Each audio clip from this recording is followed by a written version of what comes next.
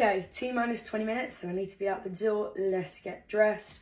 These pajamas, by the way, they are from Primark, but like, I need to steam them or iron them or something because they are just not looking a good way. But anyway, you know when you have an outfit in your head, but it's got like a hundred different variations because you haven't tried it on yet?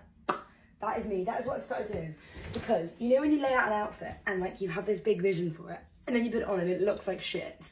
Well, if you lay out different top options that would go with it, you basically planned your outfit, but you have options that if one option doesn't work, the other option works. So the whole outfit is based around this jacket. Sorry, it's giving Dior saddlebag I'm obsessed. This is from Hello Moon shop. Um, I do have a discount code, Hello Misha 10 to get a discount. I have bought my pieces themselves. They gifted me this gorgeous one from their new collection. Um, and also it looks pretty darn warm and I think it's like 10 degrees. So layers and I'm gonna be wearing a skirt. Bottom half for all of the options is this little Urban Outfitters skirt. Issue is I'm freezing in my own house and I haven't even stepped outside yet. So I probably do need to put skin tights on, but I still haven't bought any nice ones. So I've only got my Primark ones and they suck. Don't know what I'm leaning towards, like oversized Uniqlo jumper, cropped little cable knit. For some reason, I think I'm leaning towards this, which this is more typical me.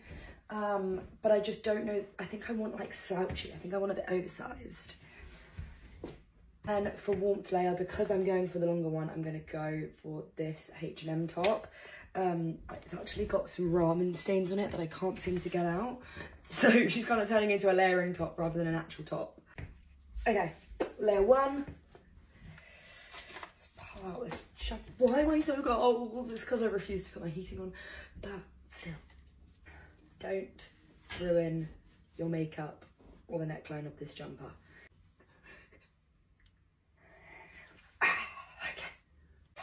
Of some sort because I don't I don't want to be like that that's not cute. She's not cute. I think I've folded it somewhat correctly. Skin tights are on. I've also got on these socks.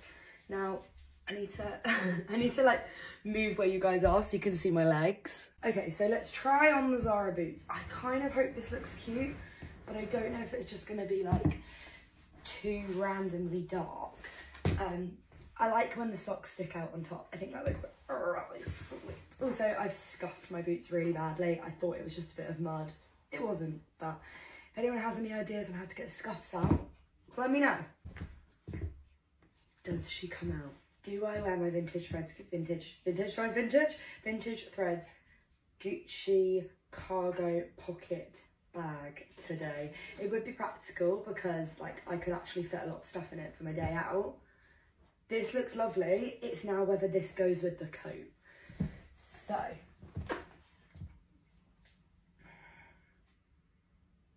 I am so cold. Coat time. I actually think it works. Brilliant. Does it? Does it? I feel like it's not cold enough for the earmuffs yet. The earmuffs feel a bit dramatic. My boyfriend could stop vacuuming when I'm trying to leave the house and film, that would be delightful. To go with, the other option was to bring in turquoise, do my little Chanel and my Zara scarf. But I actually think the scarf is too much with this jacket because it's so bulky. So I think we're sticking with the brown. Okay, finished look. She's very cute. I like her. I think I'm gonna be warm. Um, I would love a, like a brown headband or something. Maybe I'll try and find like a brown claw clip. But I actually think I'm going to keep this little headband in because it kind of gets my hair out of my face while still having it down. Here's the fit of the day. Let's go see India and Brighton.